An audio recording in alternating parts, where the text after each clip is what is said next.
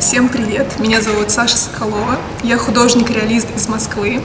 И сейчас я живу и работаю на три страны. Это Испания, Россия и Австралия. Я была единственной художницей из России, принимавшей участие в международном проекте «Ван Гог с любовью Винсент». Это первый в мире полностью нарисованный маслом художественный анимационный фильм. И сейчас я являюсь амбассадором голландской компании Royal Talents бренда Rembrandt.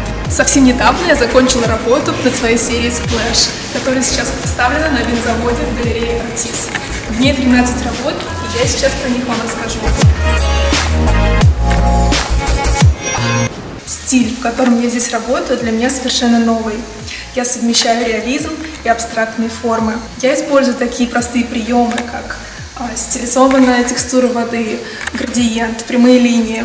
Все девушки написаны в традиционной технике масляной живописи, которую я унаследовала от своего дедушки. Он закончил Академию художеств в Санкт-Петербурге, и у него была очень строгая академическая школа. И я сохраняю эти традиции и в своих работах. Но я решила современнить его технику, сделав ее почти минималистичной, внедрив туда геометрические формы и яркость цвета. Кураторы галереи присвоили этой выставке название «Splash», потому что это отражает сюжет а, моих картин, где везде присутствует бассейн.